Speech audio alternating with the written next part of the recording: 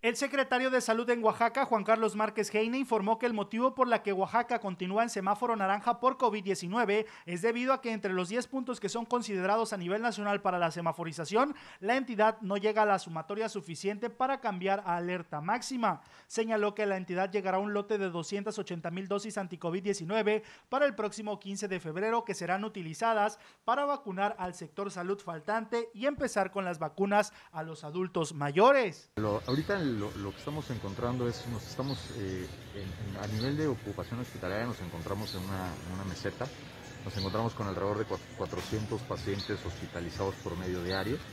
Esto, esto significa alrededor de un 60-61% de la capacidad hospitalaria que tenemos.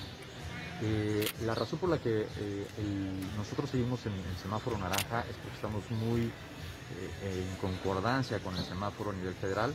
Recordemos que se miden dentro, en este semáforo se miden alrededor de 10 puntos, dentro de estos 10 puntos obviamente es la capacidad hospitalaria, el número de decesos, el número de, este, casos positivos, etcétera. Entonces, mientras nosotros encontremos entre esta sumatoria de, niveles eh, los puntos suficientes para no pasarnos a semáforo rojo, nos mantendremos en semáforo naranja.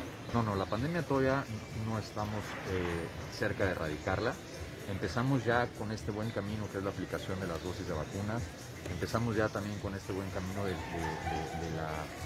el, contagio en general entre, la población en general. Entonces, cuando empecemos a lograr vacunar a la gran mayoría de la población, entonces en ese momento vamos a empezar a ver una disminución en los números en la pandemia.